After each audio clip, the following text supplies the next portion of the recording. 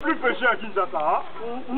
nakoloba lisusu mbisi na kongo te mais qu'est-ce qu'il est mon frère akolia nini